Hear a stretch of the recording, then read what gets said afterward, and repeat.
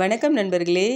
இன்றைக்கி நம்ம தீபாவளி ஸ்பெஷல் இனிப்பு தான் பார்க்க போகிறோம் ஜாங்கிரி பார்க்கலாம். வாங்க அது எப்படி பண்ணலான்னு பார்க்கலாம். ஃபஸ்ட்டு உளுந்தம்பருப்பு வந்து ஒரு கிண ஒரு கிண்ணம் எடுத்திருக்கேன். ஒரு கிண்ணம்னா சின்ன கிண்ணத்தில் ஒரு க கிண்ணம் எடுத்திருக்கேன்.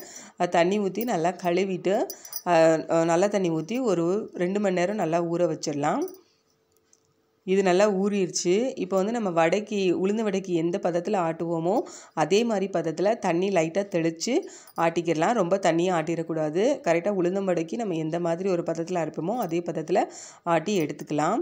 இப்போ இது வந்து நான் ஆட்டிட்டேன். அடுத்து ஒரு சுற்று போடுறதுக்கு முன்னாடி லைட்டாக கலர் பவுடர் வந்து கொஞ்சம் சேர்த்துக்கிறேன்.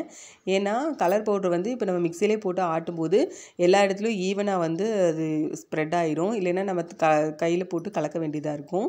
அதுக்கப்புறம் ஆடினதுக்கப்புறம் சோள மாவு வந்து ஒரு ஸ்பூன் போட்டிருக்கேன். ஏன்னா அப்போ தான் கொஞ்சம் கிறிஸ்பியாக இருக்கும். அதுக்காக போட்டு அதை கலந்து எடுத்து வச்சிடலாம். அதுக்கப்புறம் சர்க்கரை பாகு காய்ச்சறதுக்கு வந்து நம்ம ரெண்டு கப்பு வந்து சர்க்கரை ஒரு கப் தண்ணி ஊற்றி நல்லா கொதிக்க விடலாம். இது வந்து பதம்லாம் கிடையாது. ஒரு பிசுபிசுப்பு தன்மை வரும் இல்லையா? அந்த ஸ்டேஜில் வந்து நம்ம இறக்கிடலாம். இதில் வந்து ஏலக்காய் பொடி கலர் பவுடரும் வந்து நான் போட்டு கொதிக்க விட்டுருக்கேன். நல்லா கொதி வந்ததுக்கப்புறம் அந்த பிசுபிசு தன்மை வந்ததுக்கப்புறம் ஸ்டவ்வை ஆஃப் பண்ணிவிட்டு ரெண்டு ட்ராப் வந்து லெமன் வந்து பிழிஞ்சு விட்டுருக்கேன்.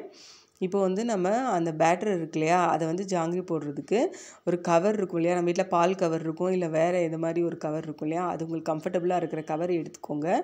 அதில் வந்து அந்த பேட்டரை ஊற்றி நல்லா ஃபில் பண்ணிவிட்டு அந்த கோனாக இருக்கும் இல்லையா? அதில் வந்து கட் பண்ணிடணும் இப்போ வந்து எண்ணெய் ஊற்றி நம்ம காய வச்சுக்கலாம். எண்ணெய் வந்து சிம்மிலே வச்சு காய வைங்க. மீடியம் சைஸில் வச்சு காய வச்சா போதும். இப்போ பாருங்க போடுறேன். ஃபஸ்ட் டைம் வந்து கொஞ்சம் வராமல் தான் இருக்கும். நான் வந்து ஜிலேபி டைப்லேயே ட்ரை பண்ணி பார்த்தேன். ஆனால் வந்து அது அவ்வளோவா கடையில் வர மாதிரி வரல. அதனால் நான் எனக்கு எப் எப்படி வருமோ அந்த ஷேப்பில் வந்து அதுக்கப்புறமா போட்டுக்கிட்டேன். ஃபஸ்ட் டைம் போடும்போது கொஞ்சம் ஒரு மாதிரி இருக்கும். அதுக்கப்புறம் நீங்கள் வந்து போட போட வந்து ஈஸியாக வந்துடும் அவ்வளோதான். இது இந்த வ- இந்த ஷேப்லேயே நான் வந்து போட்டுட்டேன். இதான் வந்து எனக்கு கொஞ்சம் ஈஸியாக வந்துச்சு.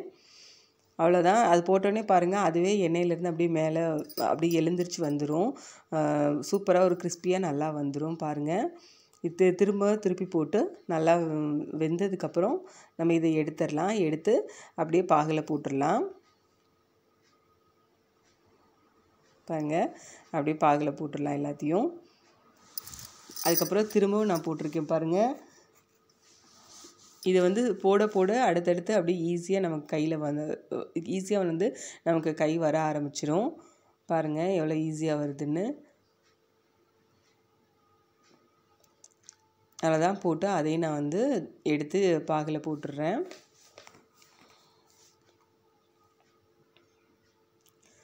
அதை நான் போட்டேன். இது வந்து ஒரு பத்து நிமிஷம் ஒரு பதினஞ்சு நிமிஷம் வந்து பாகில் இருக்கணும். அவ்வளோதான் பாருங்கள் எவ்வளோ சூப்பராக வீட்லேயே வந்து ஜாங்கிரி வந்து ரெடி ஆயிடுச்சு ரொம்ப ஈஸி தான். உளுந்தம்பருப்பு சீனி ஏலக்காய் பொடி அவ்வளோதான் இது இருந்த எண்ணெய் இது வச்சு நம்ம சூப்பரான ஒரு ஜாங்கிரி வந்து பண்ணியாச்சு. நான் வந்து பாதாம் வந்து க்ரஷ் பண்ணி போட்டிருக்கேன். அவ்வளோதான் நீங்களும் இது வந்து எப்படி இருக்குன்னு செஞ்சு பார்த்துட்டு எனக்கு கமெண்ட் பண்ணுங்கள்